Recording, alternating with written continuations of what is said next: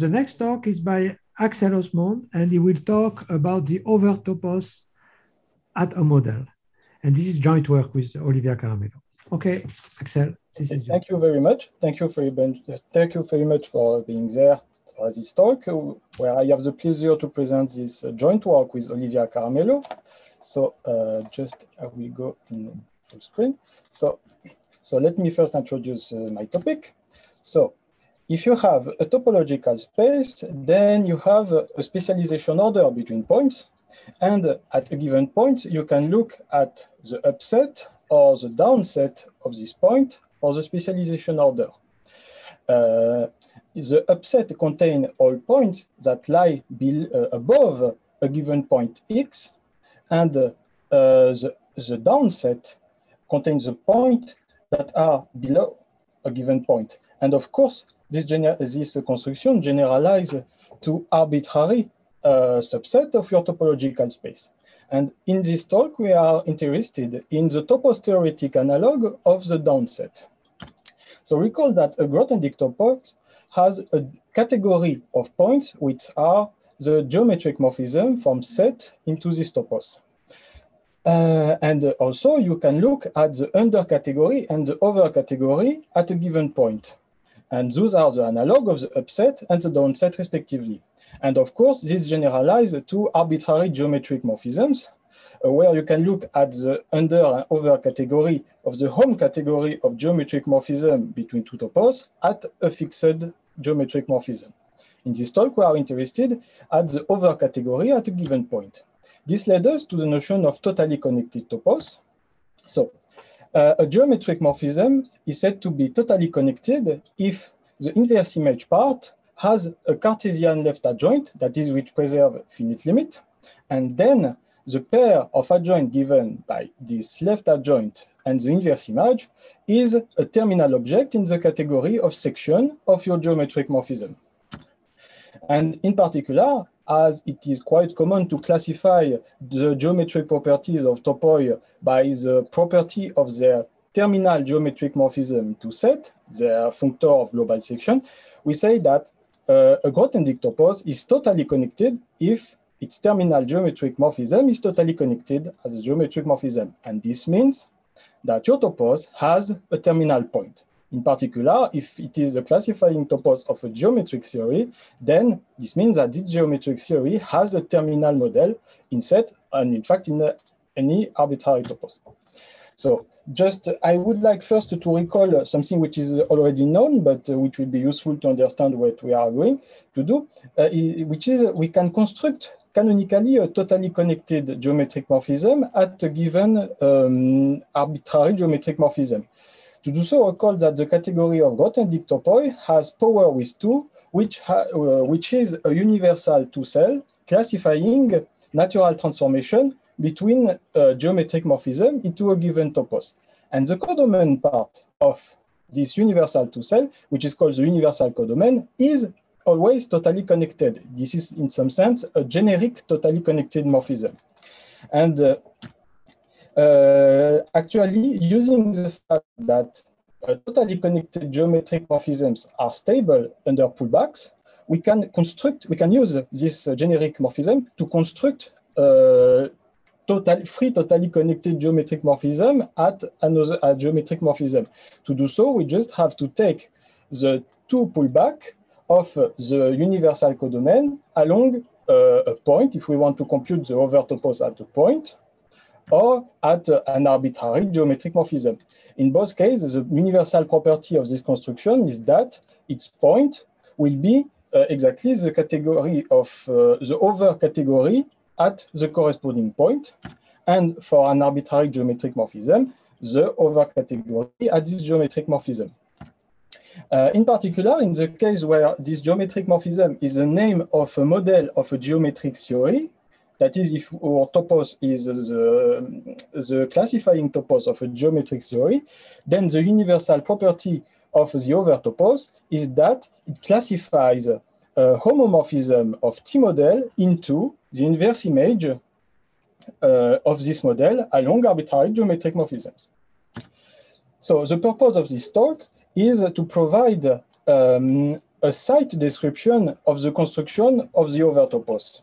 Because as we as it is uh, done uh, this way, it is a, an abstract universal construction which does not retain any information about the site and in particular the syntactic property of uh, um, encoded in the model structure and the, the, structure of the classifying topos of a theory. So we, we want to provide a canonical site uh, for, for this construction, and we will have to do in two steps. First, we will have to process for the case of a model in set, that is for a, a point of a topos, and then we can do this for the general case for an arbitrary geometric morphism, uh, but it will use uh, a bit more involved technologies about stacks, index category, and so on. So for the set evaluated case, just to recall uh, before that uh, for geometric theory, you have its syntactic site uh, where objects are formulas in context. Morphisms are uh, probability equivalence classes of provably functional formula between those formulas in context. And the topology, the syntactic topology on this category, is generated by the cover that are encoding the uh, disjunctive sequents of your theory. Uh, now, a model in set is a flat functor for the syntactic topology into set, sending a formula in context to its interpretation. And we can look at the category of element, of global element of this functor, whose objects are a pair made of a formula in context and a global element of this formula in context. And morphisms between two global elements are just, uh, is just uh, an underlying morphism between the formulas in context uh, that may commute the corresponding global elements. Uh, so instead, we are going to use an interesting property that make uh, the construction easier, which is that uh, one the one object, uh, uh, the, the, one object set is generating in set. That is, any set is uh, a coproduct of one indexed by its global element. Uh, and uh, in particular, this will be true for the interpretation of um, uh, formulas in context by a model M. And this will also be preserved under inverse image. That is, if you look at the inverse image of a model in set, then the decomposition is still true uh, after applying inverse image. So uh, in particular, so moreover, if you consider a model that is a flat functor for the syntactic topology, then um, covering family for the syntactic topology are sent to jointly epimorphic family, which means that if you take uh, a, um, a global element of this interpretation, then there is at least one member of the cover such that glo this global element has an, uh, an antecedent along this member of the cover. This leads us to consider the following topology on the category of global element, which consists of families of all possible antecedents of a global element along a cover, an interpretation in M of a syntactic cover. And this generates a topology which we call the antecedent topology on the category of global elements. And our main result is that um, the category of global element and the, the antecedent topology on this category of global element is a presentation for the overtopos. So to prove this, we have to show that it possesses the universal property of the overtopos, which is that uh, we must prove that any geometric morphism for an arbitrary topos into this sheaf topos is the name of a homomorphism of T model into the inverse image of M, that, uh, the inverse image along the global section functor of uh, your arbitrary topos. So to do so, suppose we have a homomorphism into the inverse image of your model. This is the same thing as a natural transformation between a flat functor for the syntactic topology into where the codomain of this transformation is the inverse image of your model. Uh, and this natural transformation has components indexed by object of the syntactic site. Um, and now, if you take an element of an interpretation in M of a formula in context, then you can look at its inverse image and you can take the fiber of its inverse image along the component of your natural transformation at the corresponding formula in context. This returns you an object, a fiber object, at each element of M. And uh, you can do this in a functorial way, thanks to naturality of uh, the, the, of your uh, your natural transformation and using pullback property. And this this return you a, a functor from the category of element of M into G, and then proving flatness for the antecedent topology is just uh, uh, is something uh, which is mostly an application of stability of coproducts and epimorphisms in Grothendieck toposes. On the other hand, uh, if you have a geometric morphism into the sheaf topos over the, this site, uh, this is the same thing as uh, a flat functor from the category um, of element for the antecedent topology. So in particular, this returns you a family of objects indexed by a global element of interpretation. And for a given interpretation and a choice of an element, you can glue, you can, sorry, you can first compose the element, the, sorry, the object corresponding to a given element uh, and take its terminal map into one and compose it canonically with the name of the inverse image of this element. And this returns you a map into the interpretation in the inverse image of M. And then you can glue all those objects. You can glue all the objects that correspond to global element of a fixed sort. And this returns you a map corresponding to a given uh, formula in context. And this is a way to construct uh, actually a model of T in G whose interpretation of the formula in context, uh, a given formula in context, is given by the corresponding coproduct we constructed above.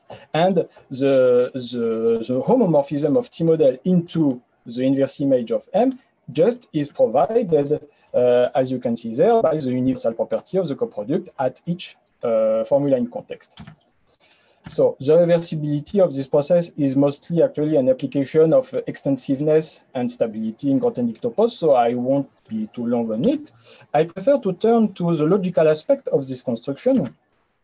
So it is as we know that uh, uh, this uh, new overtopos classifies homomorphisms uh, into a fixed model up to inverse image, we would like to know what is the geometric theory which is classified by the overtopos. Uh, so to do so, we have to define uh, for this over for this over theory, we have to define uh, over language uh, in which this new theory will live, and an auxiliary language in which we will test uh, which, what kind of sequents we want to have in this uh, over theory. So the over language will consist of a new sort for each global element of your model and a new function symbol for x for each um, morphism in your category of global element of this model. And on the other hand, the, the auxiliary language will be an extension on the ambient language um, in which you will, have you will add uh, a new constant symbol for each global element of your model. And then your model is canonically equipped with a new structure, an extended structure for this extension of the language, where you interpret the constant co corresponding to an element into uh, by the, the, corresponding element. And you have also a canonical interpretation from the over language to the auxiliary language, which replace in a formula all instance of free variable of the sort corresponding to an element uh, with the, the corresponding constant in the auxiliary language for this element.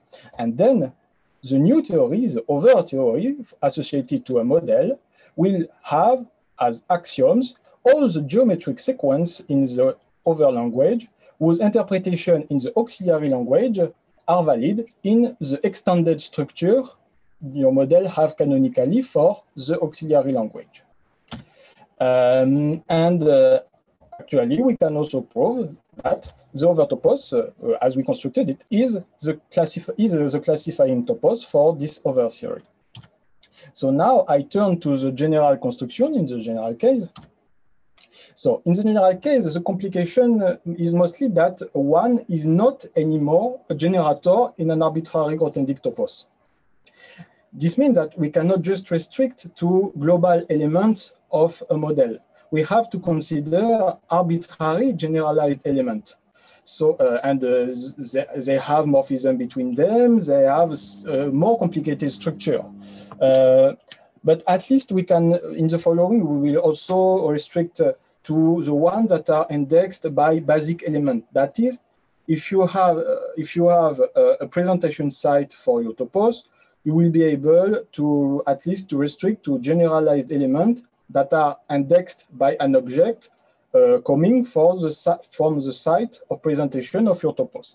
But uh, in any case, the, the complication will be that uh, not only the formula uh, of the, in the interpretation may be able to, to vary, but we must, we, we must also take in account variability of the indexing object in the generalized element. So to address this problem properly, I have first to, to, to, to give some word about the notion of uh, stacks and uh, the construction of Giraud topology. So as Riccardo uh, tell, told you in the last um, last talk, uh, uh there is this notion of uh, uh, Giraud topology for for an index category, and in particular, if you have a Cartesian stack on a Grothendieck topos, then you can consider the Grothendieck construction uh, associated to this uh, Cartesian stack and equip the corresponding fibered category with the Giraud topology, which is the smallest topology making the corresponding fibration a comorphism of site.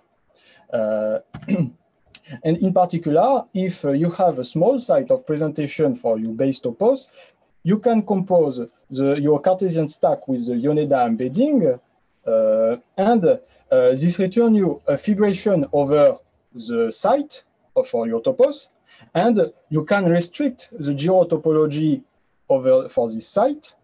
And uh, actually, you can give the concrete description of uh, covering family for the Giraud topology as the, the Cartesian lift of cover for the G topology of your basis. And uh, actually, the, you, you have those define the same topos. This is the same thing if you take the topos with the Giraud topology or its restriction uh, for the unit for along the Yoneda embedding of a site of presentation. And what is important is that you get a geometric morphism induced by uh, the, the comorphism you have thanks to Giraud topology. Uh, so now, uh, something which was uh, remarked by Olivia recently uh, is that if you have a geometric morphism, um, then you, you can construct canonically two uh, indexed category associated to it. One indexed by the domain topos, which send an object E to the category of E indexed uh, generalized element of the inverse image part of your geometric morphism. And on the other hand, for the codomain topos, you have an indexed category on the codomain topos, which send an object to the category of generalized element of its inverse image. Uh, and uh, so uh, we and what happened is that both those um, indexed category um, induce the same uh, construction and use the same category under the Grothendieck construction, which is the comma of the domain topos and the inverse image, and which is equipped with two fibration uh, on the left over the um, the domain category and on the right over the codomain category. Uh, and now uh, you can equip uh, this comma category with the smallest topology, which makes simultaneously those two fibration comorphism of sites. And this topology, which we call the lifted topology, is jointly generated by the two Giraud topologies associated to those two fibrations. Um, in part, so now something we would like to have uh, is a, a, way to restrict us to uh, small data, to, to site of presentation uh, for the domain and codomain because in practice we want small site, because uh, the category I defined there is, um, is a large site. Uh, so to construct a small site, if we have a site of presentation for the codomain topos, Then we can look at the comma where we, uh, on, the, on the right, we consider the inverse image of uh, basic uh, object, that is the compose of the inverse image with the Yoneda embedding. Uh, and we can restrict the lifted topology to this category. Uh, and uh, we still have uh, a fibration over the, the site for the codomain topos and a comorph and this, this restriction allow you to have a comorphism of site. On the left, you can also restrict uh, if you have a presentation site for your domain topos, you can also restrict uh, along the Yoneda embedding. So uh, on the on the left, and uh, again, you have uh, an innocent way to restrict your topology, uh, the lifted topology on this comma category. And the interest is that the new comma category is small, and you have a canonical topology on it derived derived from the um, the lifted topology. Uh, so uh, a problem is with this construction is that the new uh, construction is uh, a bit less pure because it's not an, it breaks the properties that uh, we have a fibration because we will see that inverse image of basic generalized element are not necessarily basic, but this is not very important for our purpose.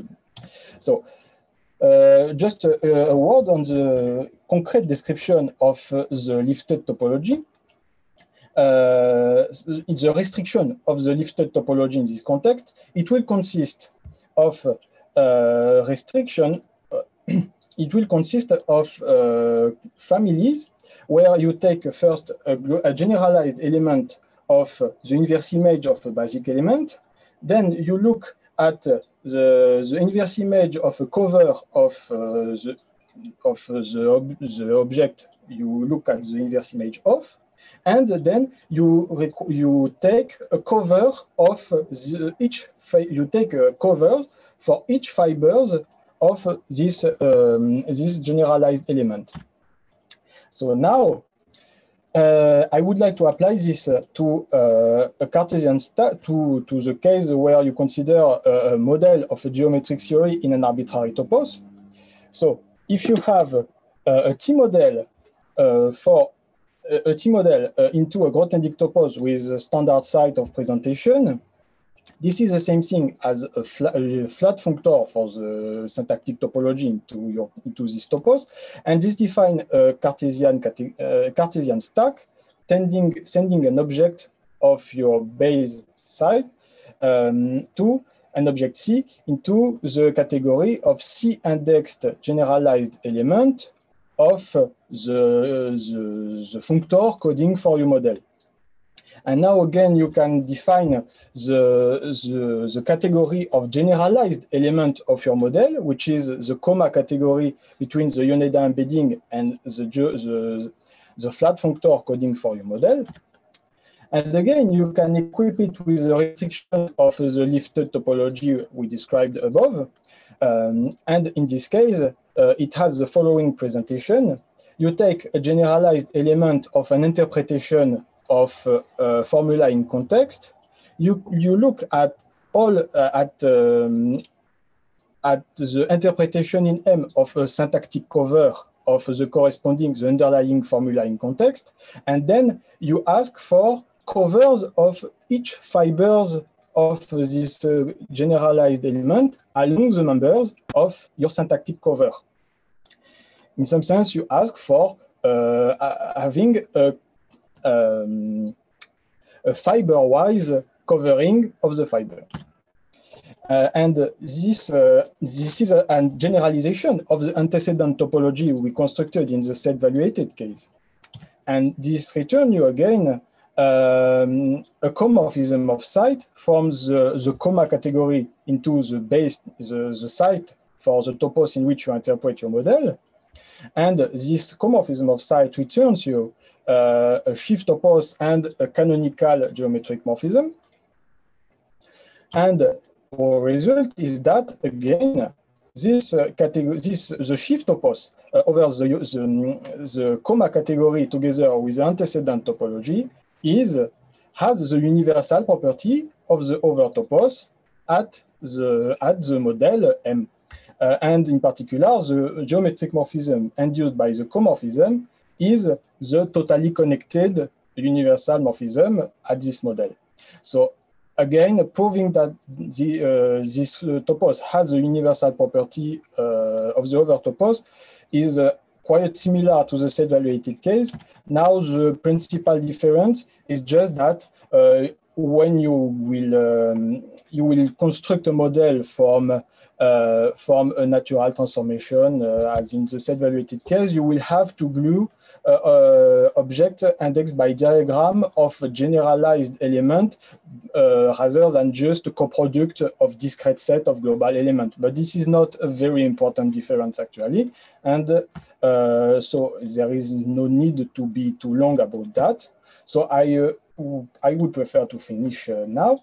So uh, just uh, perhaps a last remark on this construction, which is that um, at some point, in, for practical reasons, we want to restrict us because we want site description. We want to restrict us uh, to those restriction of the lifted topology, which uh, are concrete but are a bit cumbersome and may seem a bit ad hoc uh, uh, but actually, it's uh, again a situation in which if you drop the site, uh, the, the site information and go in a more abstract level, a more invariant level of the, the Grothendieck topos themselves, uh, you have a more pure description in which the universal uh, properties of your object are more evident.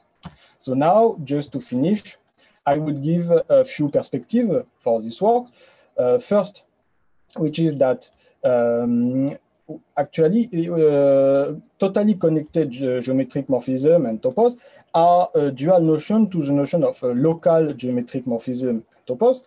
And it is well known that uh, for uh, a geometric morphism, a point of a topos, you can look at uh, the, the local topos over this uh, geometric morphism, which is the Grothendieck-Verdier localization. And it is obtained as uh, this is a dual of the, the totally connected to the over topos. Actually, this is a dual construction of the over topos, and it is obtained uh, through a formula uh, de describing it as a, a co-filtered two limit of étale geometric morphism. And something we would like to know is uh, if the over topos also has a similar description as the co-filtered two limit, but of, of what kind of morphism. It would be a generalization of the fact that the closure of a point is an intersection of the closed uh, neighborhood it has.